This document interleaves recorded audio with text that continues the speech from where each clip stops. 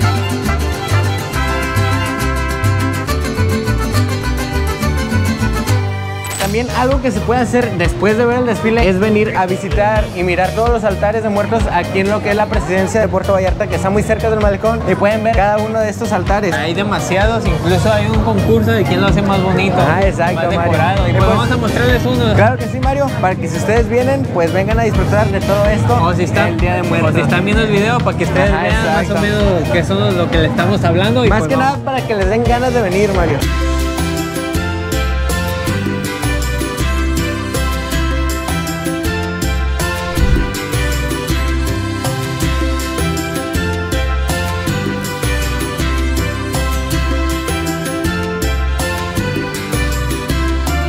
Ya llegó la hora de darnos cuenta a ver si nos llevamos el primer lugar de la Catrina Madre del Mundo. Vamos ahora a ver. es el mero día ahora y ahora la van a medir y nos van a verificar a ver si es la número uno o, O no. o no.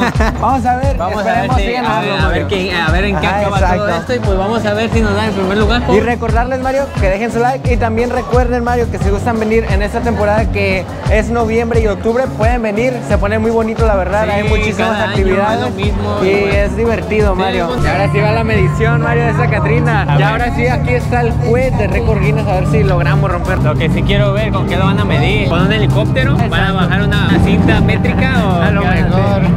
¿Qué No piensas? lo sé, güey. Ahorita vamos a ver. Mira, se me chingó la piel. Graba todos los celulares cómo están grabando este esperado momento que se vive en Puerto Vallarta. Todos están con la incertidumbre que si lo van a lograr o no. La manera como se hace la medición de esta Catrina es a través de un dron que estará volando desde el piso e inicia el conteo hasta la parte más alta del sombrero.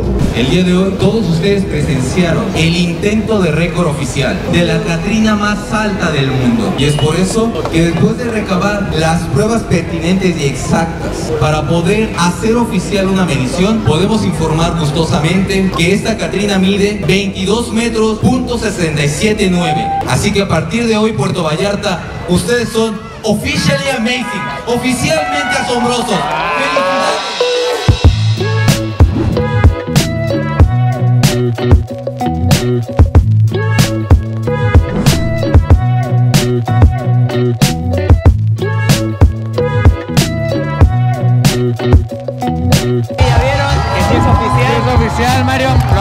Acaba de decir Es el la juez. más grande del mundo. Aquí está en Puerto Vallarta, nuestra ciudad, Mario. Sí se pudo, ¡Sí se pudo! ¡Sí se Ahora